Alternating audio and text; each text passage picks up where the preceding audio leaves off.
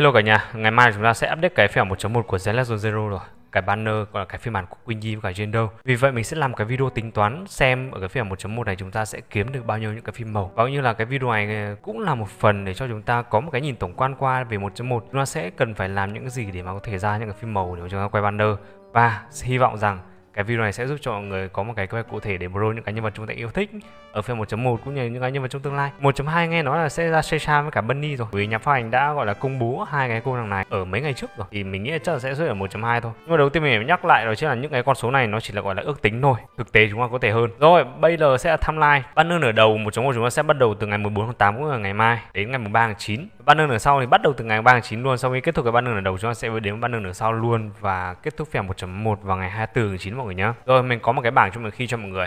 Đây, đã có hết tất cả rồi. Đầu tiên tính luôn nhá. Chúng ta sẽ có daily ngày. Mọi người vào thì chúng ta sẽ được 60 nhân với cả 21 ngày. Cái này banner này nó cũng tồn tại 42 ngày. Tất nhân vật năm sao, chúng ta có mỗi banner sẽ là một nhân vật. 20 banner ở đầu 20 banner ở sau. Thấy chưa? Bảo vệ trụ Shiyu chúng ta sẽ reset 3 lần, có nghĩa là hai tuần một lần reset đấy. Tiếp theo 1.1 thì chúng ta sẽ bắt đầu từ giữa tháng 8 với cả một cái đầu tháng 9. Thì nó sẽ có hai lần reset. Mỗi một lần thì chúng ta sẽ được 720 mọi người nhé sẽ bằng 720 nếu mọi người ờ, đánh full hết tất cả các cửa nha cửa ải nha. Ok.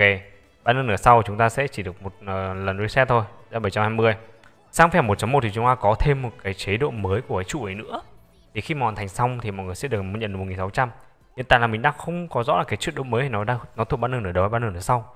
Nhưng mình nghĩ là đa số, đa phần nó đều thêm vào những cái gọi là quan trọng, nó đều thêm vào cái banner nửa đầu đầu phiên bản luôn. Thì nếu mà mình hoàn thành sẽ được 1600 hiện tại chưa có thông tin là cái chế độ này nó có gọi là reset lại không, hay như nào. Nhưng mà hiện tại là ở phiên 1.1 là chúng ta nếu mà hoàn thành full hết, mọi người sẽ được 1600 ok chưa? Nhà cũng, mình nghĩ chắc là cũng khó đấy. Rồi tiếp theo đến cái lỗ hổng số 6 thì chúng ta sẽ reset 6 lần, có nghĩa là một tuần reset một lần. Thì mỗi lần reset thì chúng ta sẽ được 150 thì chia đều cho thôi. 150 nhân 3 3 tuần. Đây cái này cũng thế này. Ok chưa? Lỗ hổng số 6 thì chúng ta cũng có thêm một cái chế độ mới nữa. Đó tên là nhảy. Đấy, ở trong buổi livestream nó cũng công bố rồi. Thì khi mà hoàn thành xong chúng ta sẽ được 240 này. Ừ. Còn là nhá, và cái ờ, chế độ mới đấy. Còn là khi mà chúng ta hoàn thành lần đầu nó sẽ là 240 ngoài ra những cái lỗ hổng những cái trụ này thì chúng ta còn có thêm những cái râu ria bên ngoài những cái chế độ nữa. Kiểu lên level hay là up mình có thể cho ở trong đấy ừ có nghĩa là con số này mấy cái này là chỉ là khi mà chúng ta qua các ải chúng ta nhận được thôi ngoài ra vẫn vẫn còn ở trong đấy nữa. Chắc mình nghĩ là dao động tầm khoảng một hai trăm gì đấy maybe. Ừ Ok, tiếp theo được cốt truyện 1.1 ừ, Mình phải công nhận là cái cốt truyện của Zero Zero nó cho khá là nhiều nguyên thạch cho chúng ta. Thì uh, theo những thông tin ở trên anh em leaker ở bên nước ngoài ấy, Thì trong hội nhóm thì có nói là tổng của cái phiên bản 1.1 này của chúng ta Bao gồm có cốt truyện của Gendo, cốt truyện của cái um, cả cái phiên 1.1, cốt truyện của Quingy ví như Gendo không có cốt truyện, Gendo chỉ là Gendo là đi kèm với cả cốt truyện chính, tuyển chính của 1.1 thôi. Ok, chúng ta sẽ có tổng là 1335 phim màu. Thì mình nghĩ là đang chia ra vì cái cốt truyện của Queen nó sẽ thuộc vào cái banner nửa sau. Còn banner nửa đầu chúng ta sẽ đi theo tuyến truyện chính. Là cái lượng phim màu lớn nó sẽ bắt đầu tập trung cái banner nửa đầu 1.1 luôn mình nghĩ là chia ra cái cho 1.000 tròn nhá. Và sẽ còn lại là sẽ 335 đấy, cho thế nhá, gọi là ước tính như thế. Rồi, đến thành tựu. Nắm được rồi chúng ta có tổng khoảng 250 về event, chúng ta có tổng là, tổng cộng là 5 cái event. Bao gồm có 3 event là 500 phim màu. Hai event tiếp theo, mỗi event sẽ là 200 phim màu. Thì mình sẽ chia ra. Cái banner ở đầu chúng ta sẽ bao gồm có hai event 500 một event 200 thì chúng ta sẽ có tổng 1.200 tiếp theo cái banner đằng sau chúng ta sẽ còn một cái là 500 với một cái là 200 tổng là chúng ta sẽ có 700 700 ok chưa? Update 1.1 rồi ngày mai chúng ta nhận luôn là được 600 này. Ok. Line 1.2 sẽ vào banner nửa sau, chúng ta sẽ có 300 chỉ cần với một mã code, cái cái like mã like rất ấn tượng luôn. Nó không dườm già ba cái mã code, nó chỉ là ba mã code một, nó chỉ đơn giản một cái mã thôi chúng ta 300 ui quá tiện. Check in. Nếu mà check in bên Hoyo Lab thì nếu mà mọi người bắt đầu từ ngày 14 tháng 8 chúng ta sẽ còn một lượt check in nữa được 20 và ban đường ở sau chúng ta sẽ có khúc chọn 60 rồi. Quay lại chờ khúc chọn 60 của tháng 9 rồi đây là tổng cho mọi người. Ừ. xem còn thiếu gì nữa không? Các video một chống một chúng ta còn thêm cái một cái event điểm danh nữa. Chúng ta sẽ có hai lần event điểm danh một cái là 7 ngày được nhận 10 cái roll băng gốc mã hóa cái, cái băng gốc màu đấy. Thì mình nghĩ là nó sẽ vào nó sẽ giống như phiên đầu tiên của chúng ta thôi. Mấy cái đấy nó sẽ rơi vào cái banner ở đầu. Banner ở sau sẽ là 10 cái vé băng bu ừ, thì chúng ta sẽ đẩy 10 coupon này.